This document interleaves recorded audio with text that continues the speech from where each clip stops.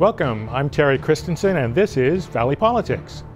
Today, San Jose Mayor Sam Liccardo will give us an update on the state of the city, including pension reform and a prospective tax increase. Later, Camille Llanes Fontanilla will brief us on the work of Somos Mayfair. As it happens, Camille was also MC for the mayor's recent State of the City address. Then we'll close our show with an interview with Rod Diridon, a longtime leader here in the Valley, and yes, Diridon Station bears his name. All this next on Valley Politics.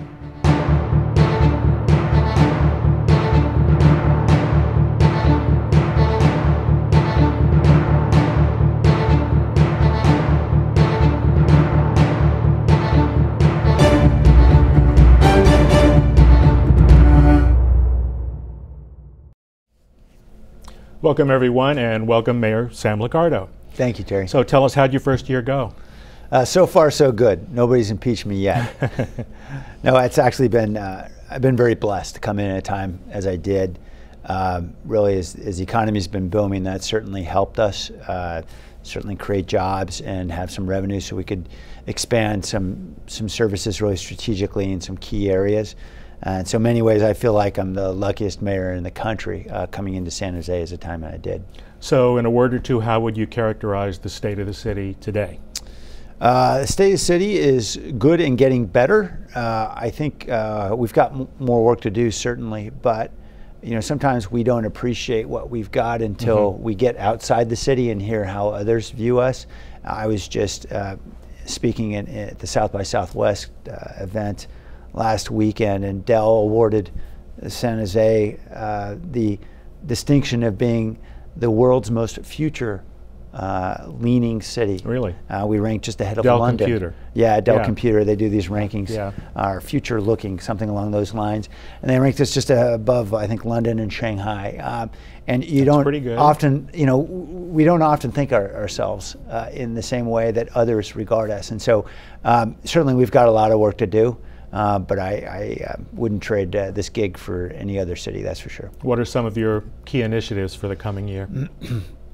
Well, certainly we want to uh, really push forward uh, with the initiatives we've already launched to make sure they are more successful, more robust. For example, uh, the jobs program that we had for teens during the summertime really focused on getting teens who are living in gang impacted neighborhoods their first job for the summer in partnership with the county and a lot of private sector folks who, who jumped in to help with hiring, uh, folks like Jabil and, and uh, Home Depot and others. We got a, a little over 700 kids uh, employed last summer. We want to get over a thousand employed this summer.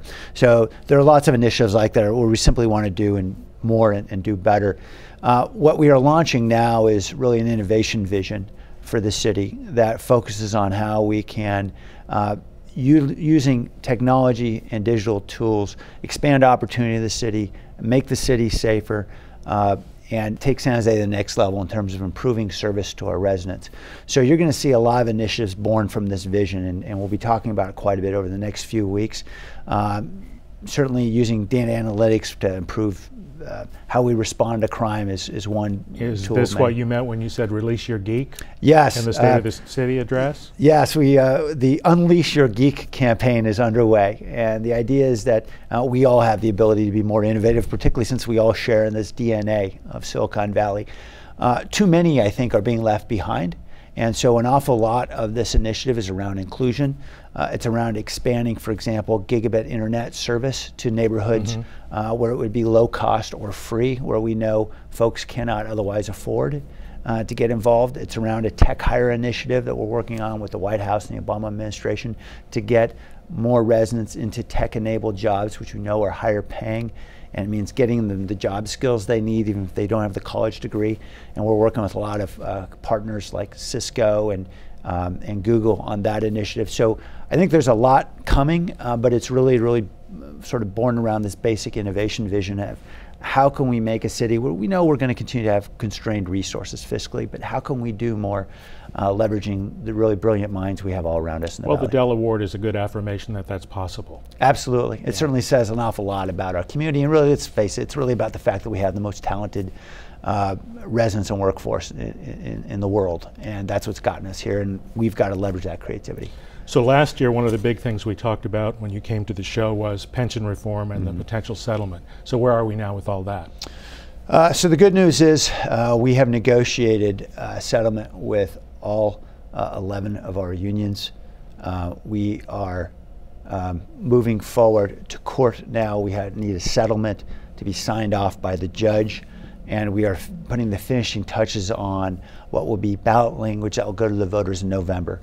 And what the voters will see will be language that will say essentially by approving this, we will ensure that we do not retroactively increase pension or other benefits. Uh, we do not increase any retirement benefit without a vote of the people that is going to the voters. Uh, and we ensure that our, our plans are actuarially sound.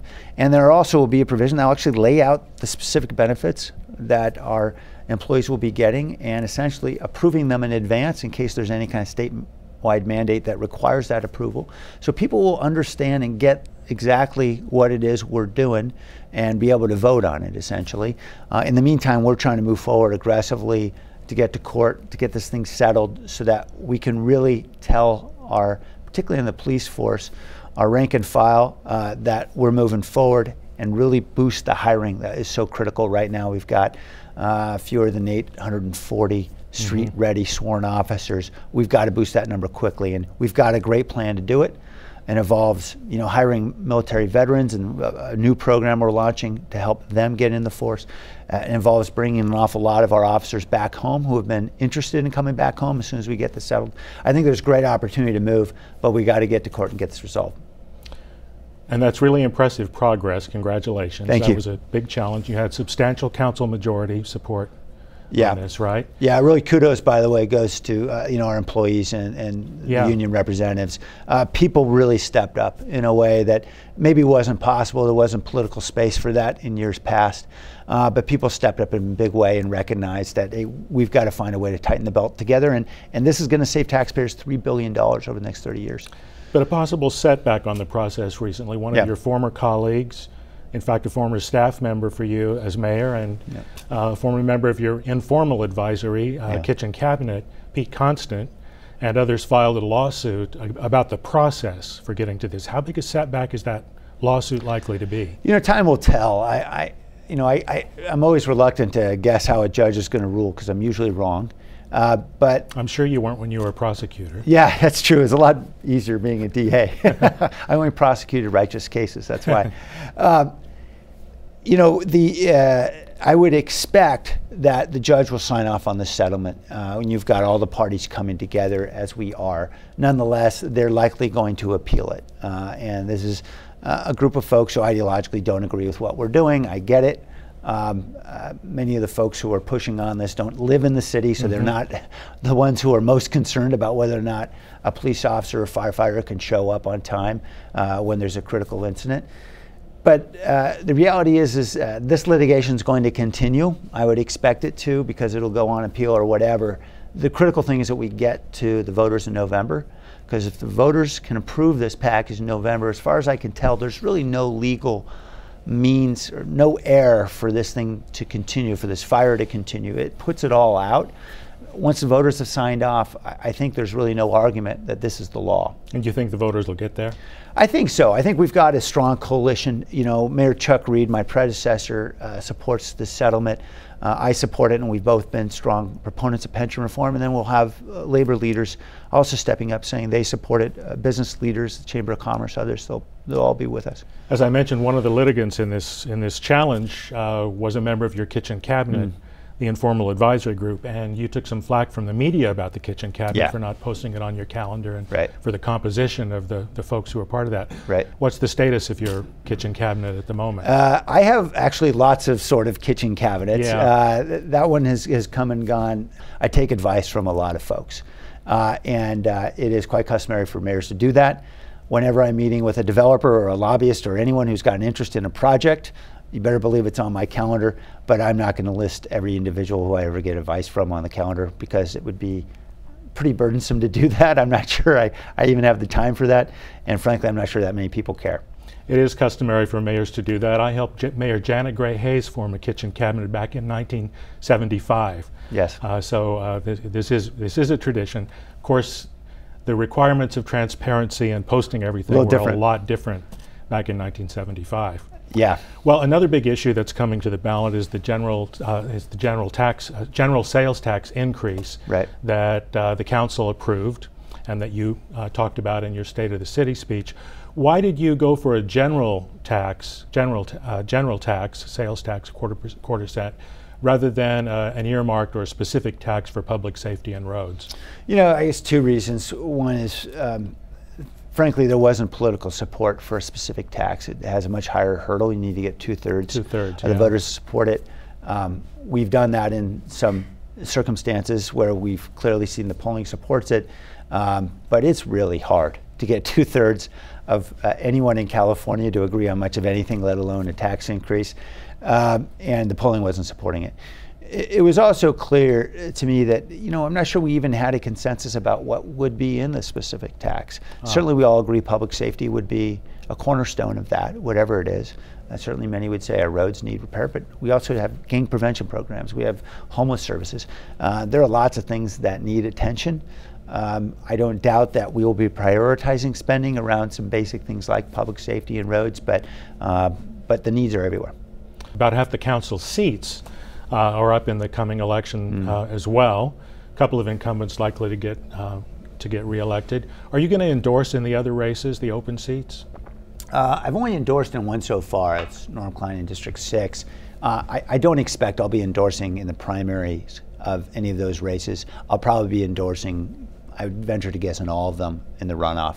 Uh, it's pretty early and you're still trying to assess who's, uh, Yeah. you know, what people are saying and, and whether or not um, they're, they're consistently saying whatever they're, they're saying to, Mm-hmm. to you. And so uh, it's important for me to hear it all out uh, before I jump in. Mercury News, among others, thinks that this election could shift the balance, the labor business balance on the city council, uh, and that's possible. Um, it seems to me that council's division has moved in a little bit different direction over the last couple of years. So, uh, some council members want to stick to what they call core services. Those are the ones who actually support, supported an earmarked or specific tax for public safety and roads. And the substantial majority of the council, including you, uh, seem to have a broader view of what, what the city should be doing. Do you think that's a reasonable view of the division on the council? You know, that's certainly one way to slice it. Um, I'm not, you know, there, I'm sure we can uh, come up with other divisions as well. I, I think, you know, we could all agree uh, that we should only be funding core services. The real question is, what are those core services? Um, because um, certainly I consider it critical to public safety that we have uh, gang prevention programs that get teenagers involved in, uh, in after school um, learning or sports or other programs uh, in, in gang impacted neighborhoods. I think that's a critical public safety core function. Others would disagree. And so, you know, we, we will disagree about what exactly core services are, but um, I think the important thing is that this council has been working together like none other that I've been on in the last decade. Uh, we've had some really tough divisions in this city, and we've managed to get through a very complex and difficult negotiating negotiation on pension reform with near unanimity. Uh, we've come to agreement now with 11 bargaining units on pay. Uh, we have managed to get a budget passed unanimously. Uh, those are the kinds of things that hadn't really been happening for a long time. And so, you know, I feel blessed that I'm working with colleagues who understand the value of collaborating. and three or four new colleagues are unlikely to shake that up too much. We'll find out. We'll All find depends out. how it works out. But, We'll you know, we'll out. reach out to them and, and, uh, and I think we'll have a good group. Some of your critics in the first year thought you were a little too ambitious Mm-hmm. in terms of the range of initiatives that you undertook. Um, how do you respond to that? Uh, Do you think some of those initiatives fell by the wayside? Are you able to keep track of as much as you put forward? Well, it's a fair criticism that we were very ambitious. Um, and I, think the good news is, is I looked at my State of the City speech from last year because I was looking at it as I was thinking about my priorities for this year. I looked too. Um, you know, we checked the boxes. We we did what we said we were going to do. Um, you know, we, we launched the San Jose Works program, the teen uh, jobs program that uh, was really focused on gang prevention. Uh, we launched an after-school initiative uh, serving uh, over 650 kids in 13 of our poorest neighborhoods, uh, really trying to see how we can boost uh, learning to, to get every third grader up to reading and math. Um, because we know that's such a critical determinant for their future. Uh, we were successful in resolving uh, the pension battles.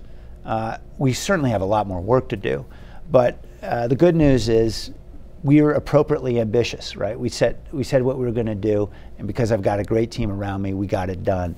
Um, we just got a lot more to do. Meanwhile, you're an avid cyclist. Are you getting time on your bike? No. No. Yes, I'm. I'm very. Uh, I'm very unhappy about that. I actually had a little fall on my bike oh. about six or eight weeks ago, and I had this giant hematoma on my leg, which was awful. Uh, so I've kind of nursed that back to health, but I'll get back on the bike soon.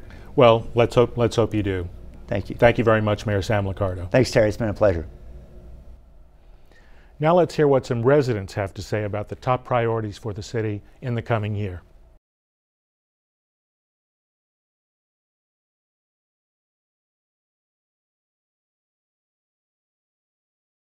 It should be homelessness because it's starting to seep into uh, into the neighborhoods, uh, many neighborhoods.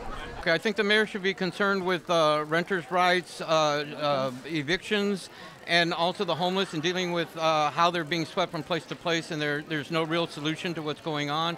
Public safety, uh, maintaining economic viability of this uh, community, as well as providing for infrastructure. Helping people that want to get out of poverty.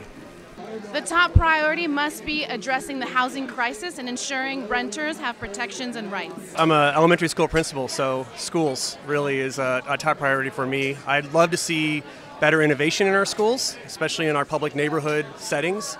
And uh, you know, a second priority really is uh, safety. You know, uh, making sure we restore our, our community policing and uh, get, keeping our neighborhoods safe and, and uh, thriving. I think that the mayor should focus on strengthening rent control. A lot of the uh, tenants of San Jose are suffering due to the high increases of rent. You know, a lot of people are commuting really far away, moving out because they can't afford to live here anymore. Now it's time for community news with Camille Llanes Fontanilla of Somos Mayfair.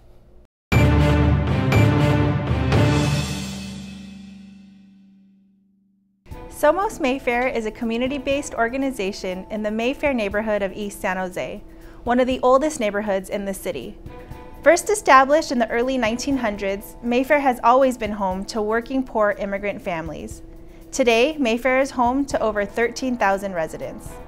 At Somos Mayfair, we implement a unique and innovative approach that is executed at the hands of community leaders and activists, or promotoras, we work with over 500 families with children ages 0 to 8 in the neighborhood to close the opportunity and achievement gaps. Toward these goals, Somos Mayfair organizes a broad network of neighborhood leaders who are building a grassroots movement of families working together to ensure that our children are entering kindergarten fully ready for school, our children are proficient readers by the end of third grade, and that community members are demonstrating personal and collective action to help move the needle on critical community issues. To learn more about our work and to get engaged in our efforts, visit somosmayfair.org. Thank you so much for your attention.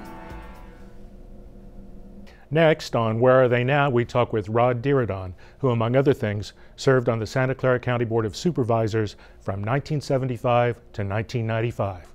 Let's take a look.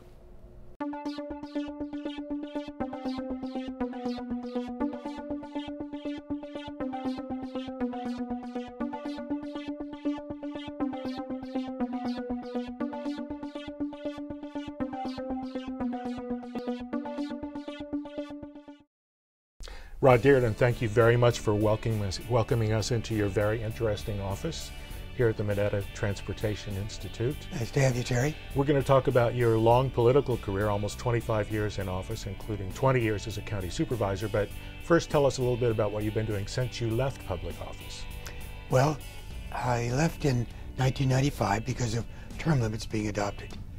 And I uh, uh, was asked at that time by the directors of the newly created Mineta Transportation Institute to assume the directorship, executive directorship of that uh, National Transportation Research Center. Uh, I had been the chair of that board, mm-hmm. and uh, I wrote the legislation that uh, Congressman Mineta carried to create it, and so it was a natural evolution. Uh, the position didn't pay very much, but I've never worked for money, and and it um, evolved up now so that it's become a very powerful uh, think tank. Has 230 PhDs in nine Wow. countries, uh, working on 40 projects currently. We uh, are the lead institution over nine other universities. Uh, the money comes through us. We guide them in doing the research, and we publish the research for all of them. So it's it's quite powerful now. We have a master's in transportation management.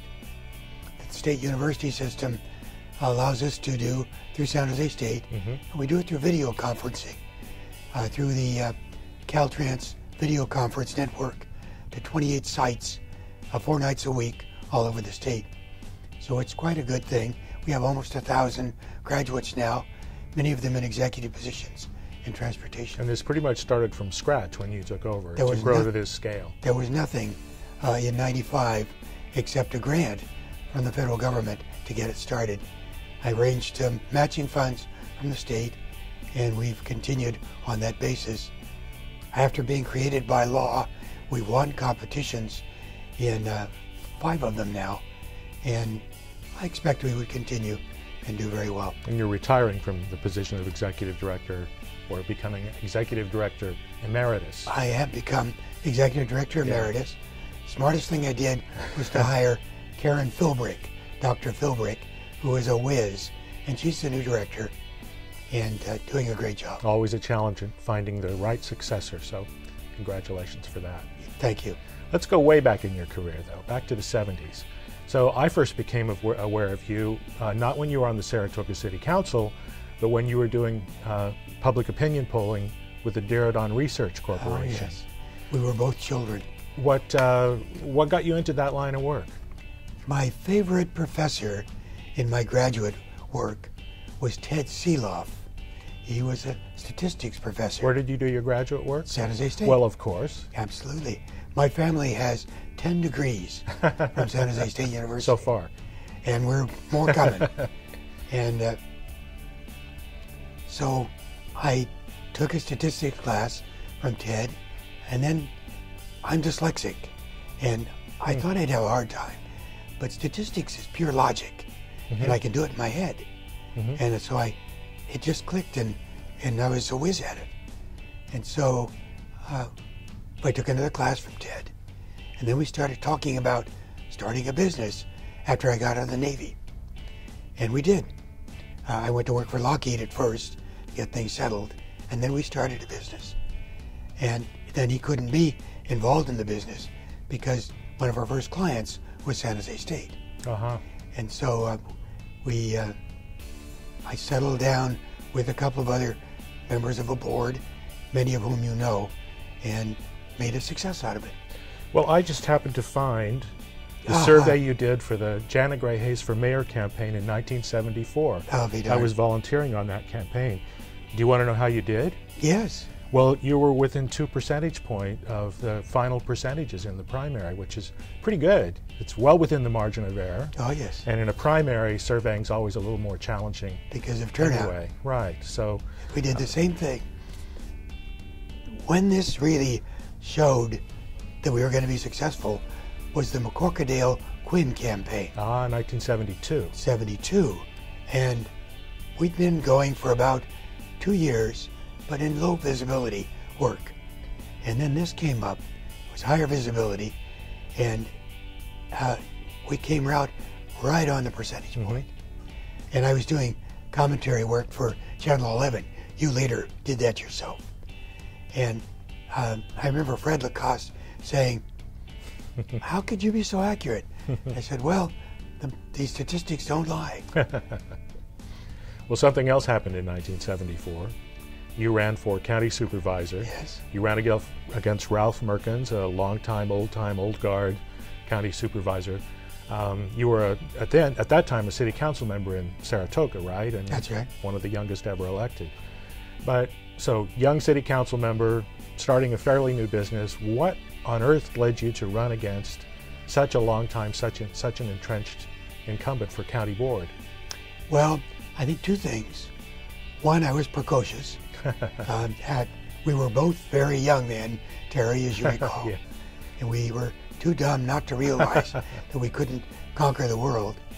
And the second is that we worked very hard in 1972 to adopt a measure that uh, that directed the county to use their excess sales tax, not sales tax, property tax revenue, coming from amortizing bonds, Mhm. to build an arena, sports arena. A lot of people like uh, Tony Ritter and Hal Gilliland and others worked on that campaign, the labor unions, so on. And then the county, three votes on the county board, voted to build the county administration building Uh-huh. with that excess revenue. And it made us all very angry. The people in the valley had voted overwhelmingly to create the arena. And now there wasn't enough money for the arena. And so several of the folks came to me and said, We want you to run against Mr. Mehrkens. Well, I liked him. He's a, just a nice, nice old fellow. And there's one more, one more point, too. The board at that time, except for Dan and Dominic, Dom was kind of on the fringe. Uh, was That's Dominic Cortese. Dom Cortese. Dan Dan McCorquodale. Were very conservative. They were the old Yeah. farming Republican Yeah. group. They worked part time.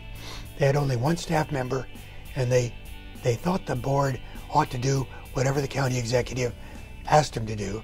And the county executive, Howard Campen, Howard Campen. was a wonderful fellow. Yeah. Ran a very conservative, tight ship, but he was conservative. And I knew it was time for a change. And so I, I knew that if I was elected, there'd be three votes on the liberal side. That would be you and Dan McCorquodale and Dominic And Dom Cortese. Yeah. And so I ran. And everybody said, kid, you're not going to have a chance. Ralph's been there for 15 years, Yeah. 16 years. He's loved by everybody. And so I walked every precinct twice, raised some money, not a lot, had some help from the labor unions Mhm. because they didn't like the conservative county, and and from the environmental community. I was a no-growth candidate. Of course, I di- didn't realize that was impossible, and won. Next month, we'll focus on the upcoming June election, and we'll hear more from Rod Diridon. Meanwhile, you can catch up on previous shows on our website at creatvsj.org or on YouTube. Just search for CreaTV San Jose. You can also email comments to us at valleypolitics at creatvsj.org, and you can follow us on Facebook where you can post comments, suggest topics, and send us questions for future guests. And now that's all, folks. Thanks for watching Valley Politics today. See you next time.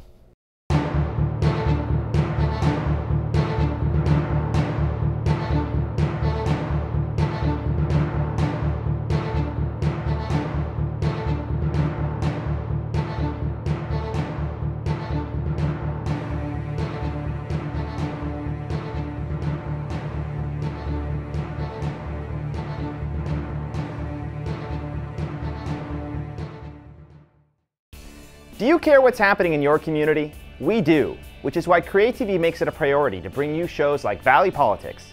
But we need your help. CreaTV relies on tax-deductible donations from viewers like you to provide our community with informative local programming. If you like what you're watching, go to creatvsj.org and make a one-time donation, or become an ongoing supporter through our Friends of CreaTV. Thanks for watching.